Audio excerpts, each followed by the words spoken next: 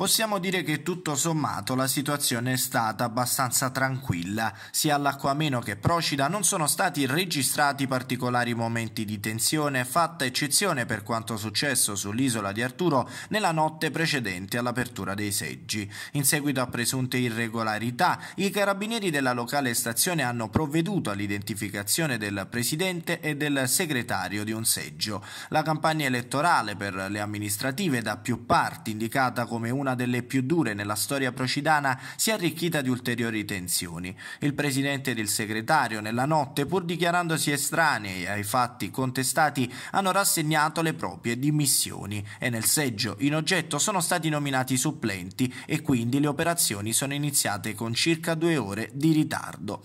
All'interno del seggio numero 10 una scrutatrice ha denunciato il ritrovamento di 10 schede bianche all'interno di un cassetto. Dopo la segnalazione ai carabinieri è scattata stata l'indagine che però difficilmente potrà stabilire chi realmente si è reso protagonista di questa irregolarità. La polemica è stata molto accesa in quanto la Presidente è la sorella del candidato Muro che in una situazione di forte imbarazzo non ha potuto far altro che dimettersi insieme al segretario. Ovviamente entrambi gli schieramenti hanno accusato gli avversari. La notizia va precisata, ha scritto sulla pagina Facebook la lista Procida per tutti. Non vi è stata alcuna rimozione ma le dimissioni volontarie volontarie del presidente di seggio per garantire la serenità del voto. Non è stata comunicata alcuna incompatibilità, non vi è stata alcuna sottrazione di schede elettorali, ma una denuncia di una tifosa della Procida che vorrei. Parliamo di schede bianche inutilizzabili al fine di qualsiasi eventuale, in questo caso inesistente, irregolarità. In seguito alla denuncia è normale, scrive ancora Procida per tutti, che ci sia un accertamento, ma la giornata elettorale si sta regolarmente svolgendo a riprova della cattiveria della notizia del solito attacco alla persona di Luigi Muro.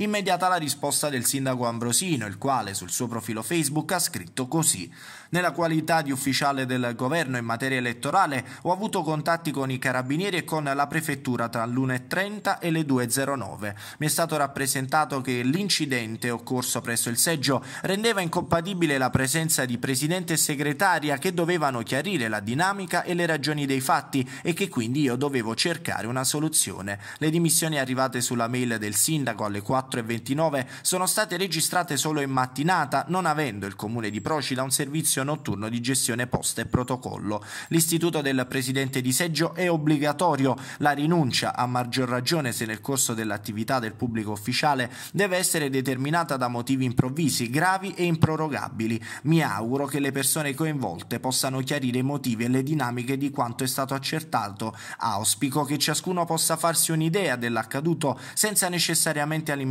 le tifoserie. Chiedo la cortesia di non commentare solamente in questa occasione. Il fatto è ovviamente gravissimo e pur non compromettendo la regolarità del voto, in quanto tutto è stato scoperto prima che venissero aperti, fatto il giro della Campania e d'Italia. Ma non solo, il dato interessante arriva dalle percentuali dell'affluenza. Al seggio 10, quello coinvolto dai fatti raccontati, ha votato solo il 50% degli aventi diritto in confronto alla percentuale isolana che sfiora l'80%. Fortunatamente, tolto questo spiacevole e triste episodio che macchierà in eterno questa tornata elettorale, non ci sono stati altri momenti di particolare tensione ai seggi.